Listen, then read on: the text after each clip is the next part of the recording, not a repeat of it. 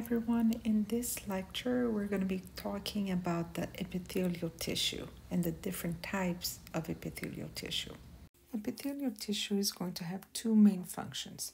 The first one is that it will cover body surfaces. The second one is that it will form glands.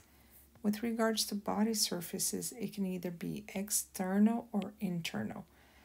External has to be the skin, right? Because the skin is what's located externally in our body. Internal, mainly, it's going to line organ systems, the inside of organ systems.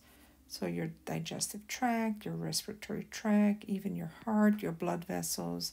And then it will also line your body cavities, which we mentioned in Module 1. We talked about the cranial, and the thoracic, the abdominal pelvic cavities, those are all lined by epithelial tissue. Because glands they derive developmentally from body surfaces, therefore you can see the link to the epithelial tissue as well. We can classify epithelial tissue in two ways, either with regards to the number of cell layers or the shape of the cell. So let's talk about cell layers first. As you can see over here on the image, the tissues can either have one cell layer, like these, they only have one cell layer, or they can have more than one cell layer, like these. If they only have one cell layer, we call it simple. If they have more than one cell layer, we call it stratified. Now, with regards to the pseudo-stratified, pseudo means false. So that means that it looks like it's stratified, but it's really not stratified. It's a false stratified, meaning that these cells over here, sometimes they get squished here in the middle because they're so tightly packed together that it looks like they have more than one cell layer, but it, they really only have one cell layer. With regards to cell shape, we can say that they can be flat like these, they can be squared like these, or they can be rectangular like these. If they are flat, they're called squamous. If they are squared like these, they're called cuboidal. And if they are rectangular, they're called columnar. Therefore, when we put everything together, the cell layers with the shape of the cells, you're going to get a simple squamous epithelium if it's one cell layer and flat cells. A simple cuboidal epithelium if it's one cell layer and the cells are squared. A simple columnar epithelium if the cells are rectangular in shape and you have one cell layer. If you have more than one cell layer, then you're going to look at the cells that are located on the apical part of the tissue, so on the part that is further away from the basal lamina. Therefore, these cells over here look flat and they're more than one cell layer, so they're called stratified squamous epithelium. These look more like a square, so they're called stratified cuboidal epithelium. These look rectangular and there's more than one cell layer, so they're called stratified columnar epithelium. And again, with regards to the pseudostratified epithelium, they are usually columnar, but because they sometimes seem like they have more than one cell layer, they're called pseudostratified columnar epithelium. In this case, they're going to have the cilia. Remember how we talked about the cilia? That's going to move particles for example, away from the lungs if they're located in the respiratory tract. So that's why they're called, in this case, more specifically, it's called the pseudostratified columnar ciliated epithelium. Each type of epithelial tissue, it will perform a specific function. And here are examples of the functions. So it can either function to diffuse or filtrate, it can function as protection. It can function as secretion and absorption. It can function to change the shape of the tissue as it stretches, or it can function also to produce a movement of a material. So I don't want you guys memorizing all the different types of epithelial tissue in all of the organs. But one thing that you guys should be thinking about is how are simple and stratified epithelial tissue different in terms of the function? What makes a difference between a squamous cell, which is flat, and a columnar cell, which is tall? So these types of characteristics of the epithelial tissue is what's going to tell you the function of each type of tissue. For you to have a function of diffusion and filtration, you cannot have a tissue that's very wide. You need to have a tissue that's narrow, thin. A thin tissue has to be composed of one cell layer and flat cells. The tissue that will be responsible for this function of diffusion and filtration has to be the simple squamous epithelium.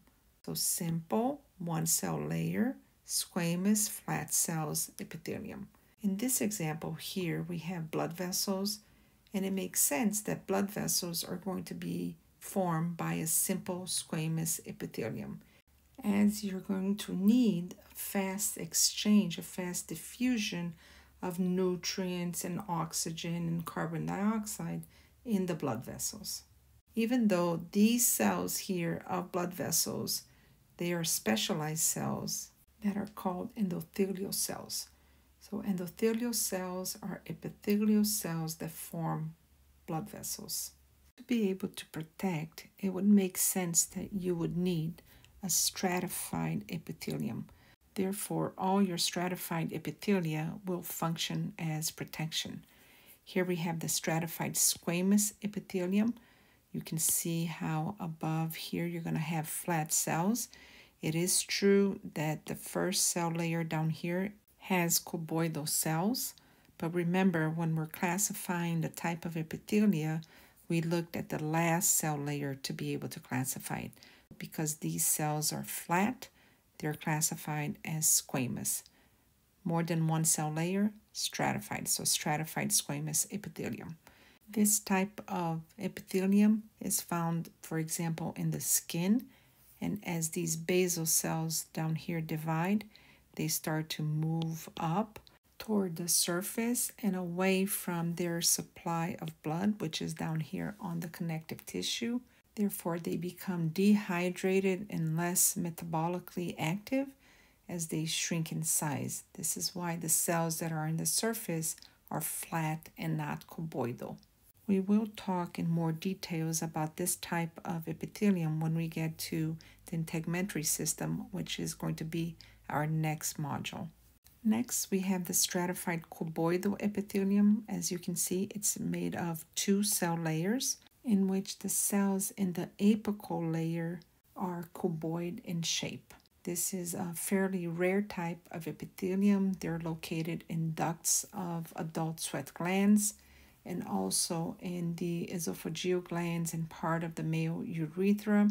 The main thing that you need to know is that it functions for protection. You can actually think about this. The esophagus is going to be the passageway between the mouth and the stomach. And if you eat a chip that you don't chew well enough, then it scrapes the esophagus lining and therefore you need to have it protected. So this is why it's made up of a stratified, in this case, it's a cuboidal epithelium. Next, we have what we call the stratified columnar epithelium. Usually the basal cells are going to be shortened and irregular in shape. Only the apical layer will have cells that are columnar in shape or rectangular. Similar to the stratified epithelium, the stratified columnar epithelium also has a function that is not known.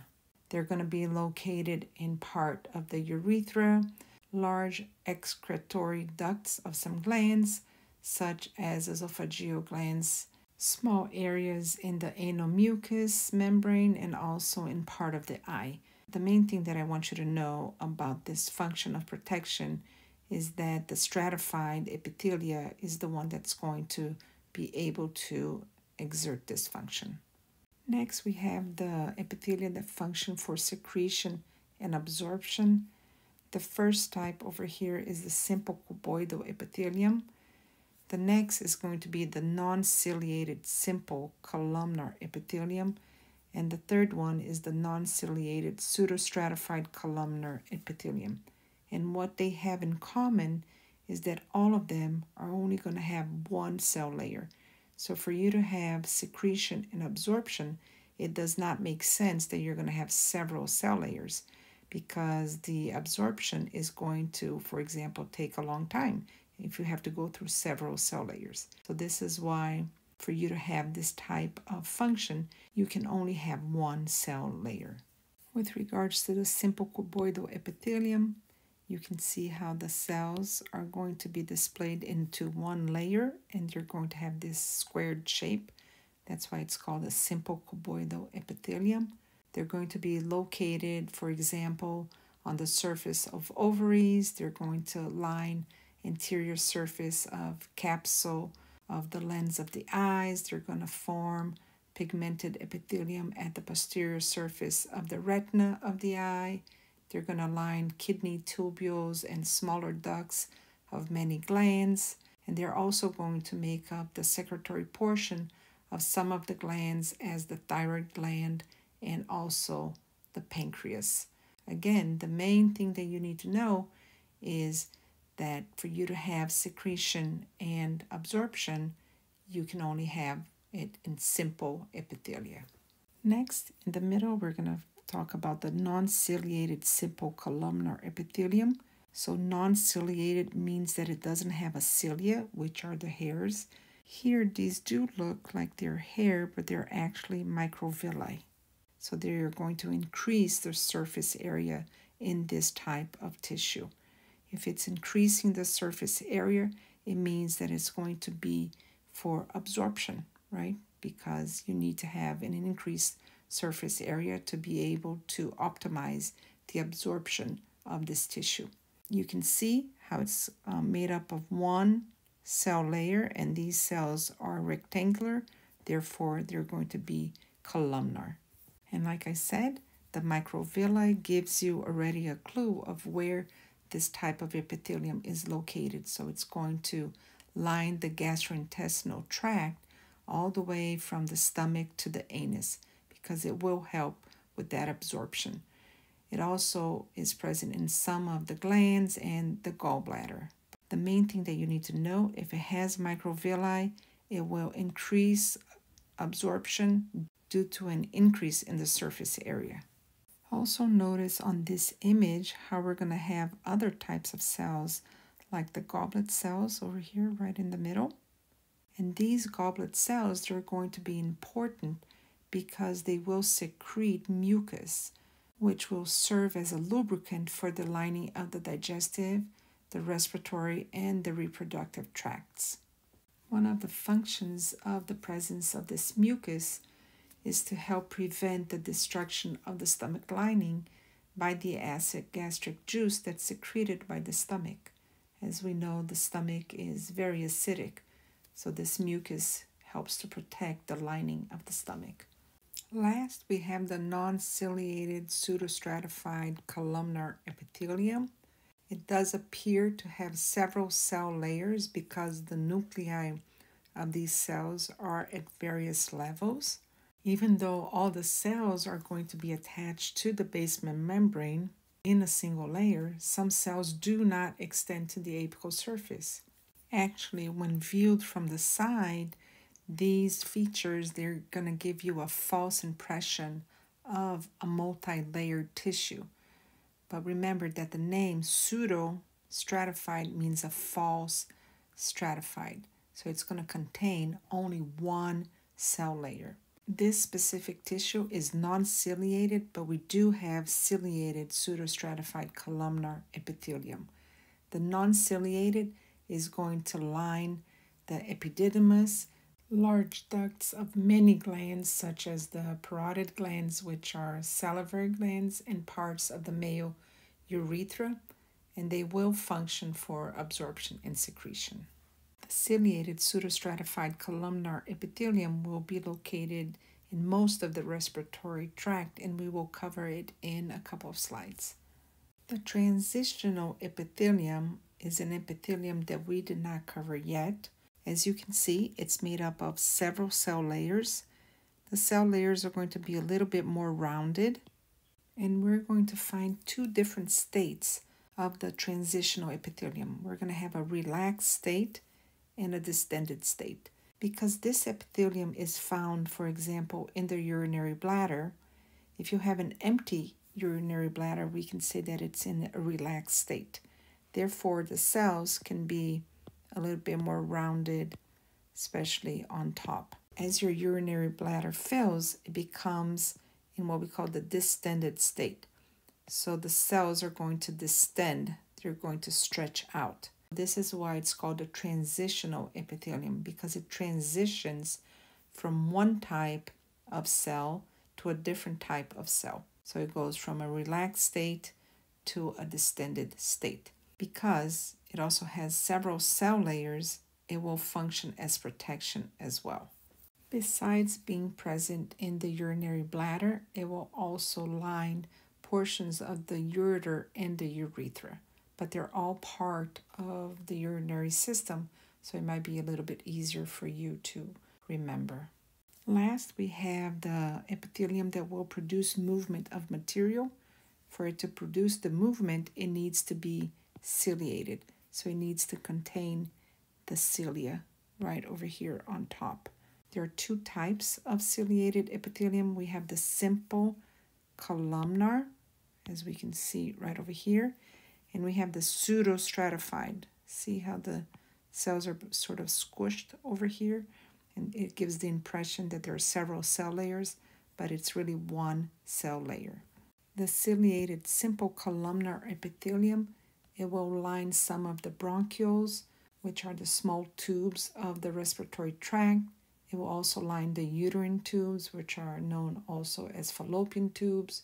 It will line the uterus, some of the paranasal sinuses, the central canal of the spinal cord so that you can have CSF circulating and also ventricles of the brain.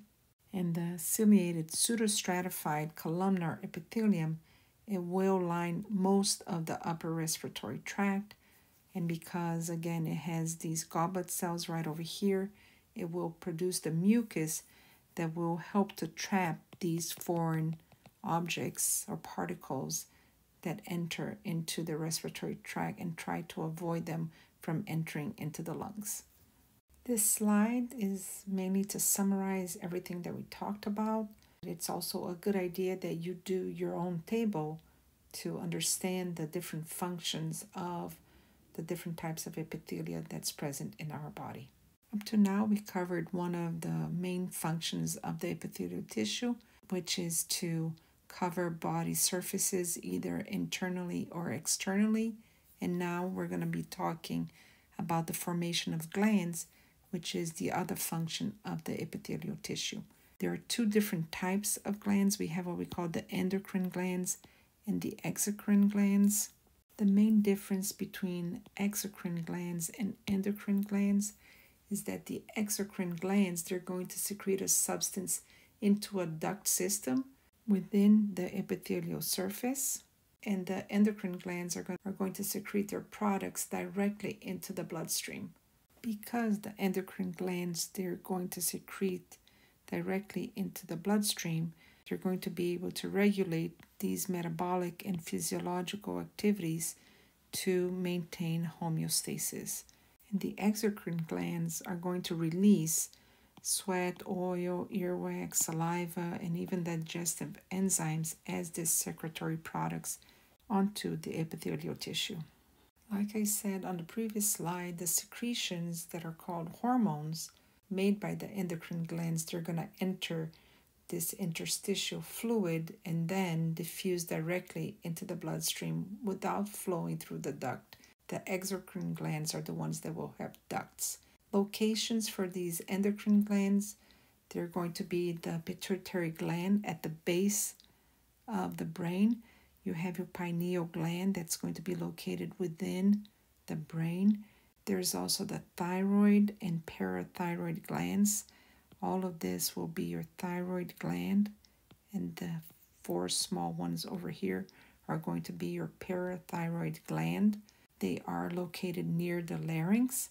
Then you have the adrenal glands, which are also called suprarenal glands. Suprarenal means that they're going to be on top of the kidneys.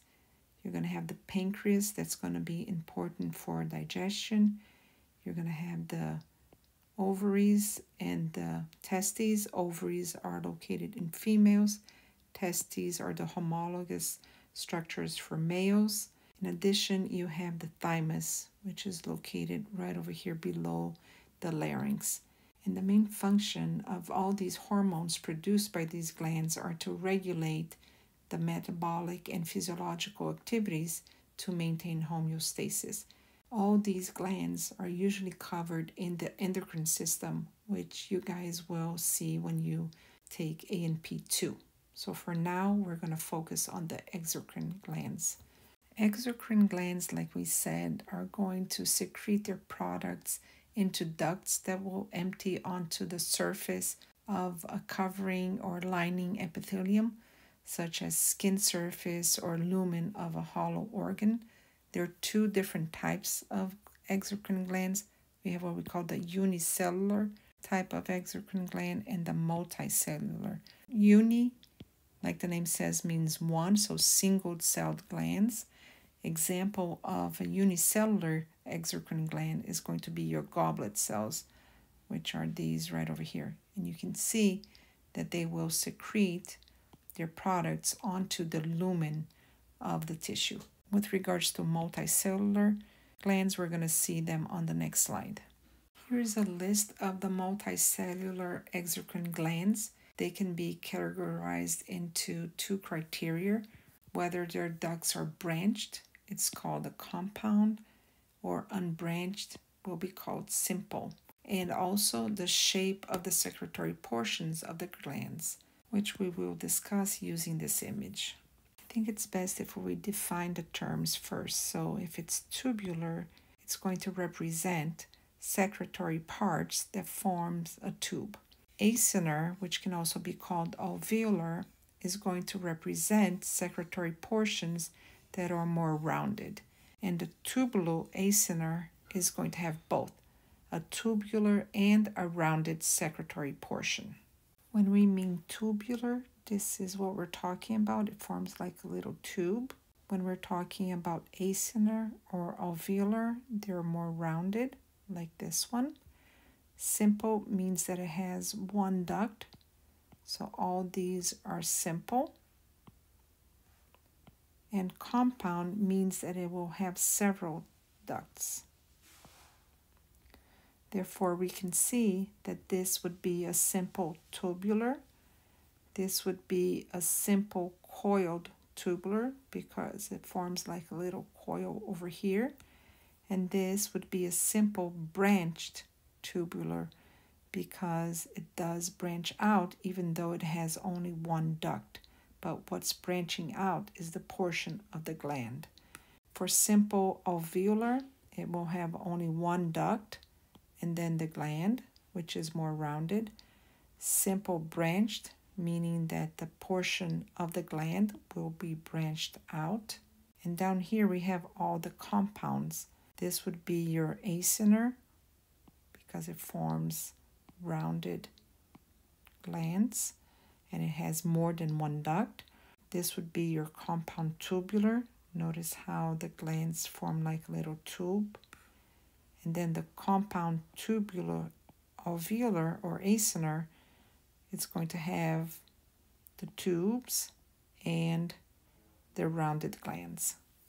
We can also classify the exocrine gland according to the function, so the way that they secrete their products. There are three types merocrine, apocrine, and holocrine. And the way that they secrete, it goes from a more simple type of secretion, which is the merocrine, to a more complex type of secretion, which is the holocrine. The way that I remember is by thinking about ma. So it goes from the more simple type of secretion to the more complex type of secretion, and we're going to discuss them on the next slides. Secretions from merocrine glands, which are also called eccrine glands, are going to be synthesized in the ribosomes attached to the rough endoplasmic reticulum. They're going to be processed, sorted out, and packaged by the Golgi complex right over here. They're going to be released from the cells in these secretory vesicles right over here via exocytosis. Most of the exocrine glands of the body, they're going to be this type of glands an example can be salivary glands or pancreas. The most important thing for you to realize is because these secretory products they're released through exocytosis, the cells they're going to remain intact. Next, we have the apocrine cells, which are going to accumulate the secretory products on the apical part of the cell, so the top part of the cell then what happens is that there's a pinching off. See how this membrane gets squeezed right over here? And therefore the secretory products, they get released with part of the cytoplasm of the cell. Because the nucleus remains here, then the cell is able to regenerate the portion that got removed. The cell does not die, but it's different from the merocrine type of secretion where you only create secretory vesicles that are released through exocytosis.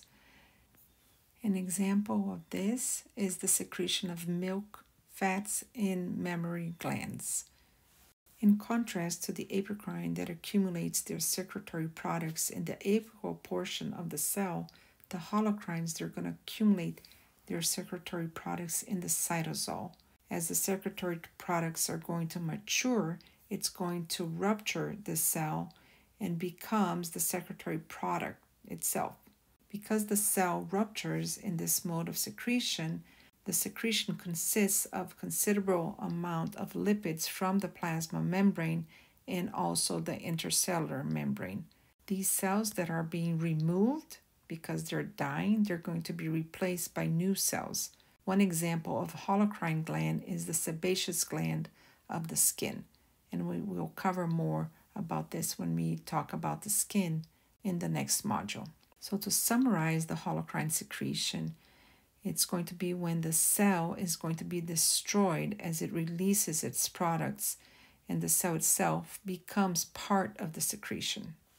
Epithelial tissue, they do have common structural characteristics, which we will cover on the following slides. They are cellularity, polarity, attachment, avascularity, regeneration, and the fact that it covers body surfaces. The first one is cellularity. Mainly, cellularity means that there is little or no space between the cells, and this is due to the specialized cell junctions that we already talked about. Therefore, the cell junctions are the ones responsible for giving this characteristic of cellularity. As you can see in this image, there's really no space between the adjacent cells. Next, we have polarity. Polarity can be a little bit confusing because usually when we think about polarity, we think about charges. However, in epithelial tissue, polarity just means that the apical part of the cell is going to be exposed. Therefore, we can see right over here that the apical part is going to be exposed to the surface or to the lumen of an organ, and the basal surface will be attached to the basal lamina. And this also means that the organelles within the cell, they're not going to be distributed evenly. So there's going to be usually a nucleus that's going to be further down. Up here, you're going to have the Golgi complex. Down here, you're going to have mitochondria it's not like you usually have a cell with the nucleus in the middle and then the organelles are spread evenly. Polarity means this, that the organelles are also spread unevenly within the cell. Next, we have attachment, which mainly means that the epithelium is going to be attached to the connective tissue through what we call the basement membrane. Now, the basement membrane is divided into two layers. You're going to have the basal lamina and the reticular lamina. There are specific functions of the basement membrane which are listed over here, but for us, the main thing that we want to know is that the epithelium is attached to the connective tissue through the basement membrane. Next, we have avascularity. Avascularity means that there are no blood vessels. So vascularity means blood vessels and A means no. So no blood vessels. On the image, we can see the epidermis right over here, which is going to be formed by the epithelium or epithelial tissue. Below the epidermis, we have the dermis. Notice over here how we have all these blood vessels. So this would be in blue a vein, in red an artery, and these blood vessels are the ones that are going to be supplying the nutrients to the epithelium up here. The nutrients are going to pass from the dermis which is the connective tissue, to the epidermis, which is the epithelial tissue. This process occurs by diffusion, and we will talk more when we get to the next module, which is integumentary system, where we will cover the skin. Next, we have generation, which means that we're going to generate new cells. In this example here, we're talking about the epidermis. Therefore, these cells over here are what we call keratinocytes the keratinocytes are going to be regenerated from what we call stem cells. So these stem cells, they will divide and differentiate into new keratinocytes that will then move up this ladder. As you can see down here, you're going to have the young keratinocytes. They're going to move up and become old keratinocytes where they're going to die and become flat. And then you're going to shed this top layer over here of dead cells. Of course, we're going to cover all this when we talk about the integumentary system, but the main thing that we need to know for this module is how regeneration functions or what's the meaning of regeneration, which means that you're going to have the differentiation of new cells from stem cells. The last common structural characteristic is the fact that the epithelial cells they're going to cover body surfaces and all this we already covered in the beginning of this learning outcome how the epithelial tissue covers either external or internal surfaces. Therefore i don't think that there's any need to cover it again on this slide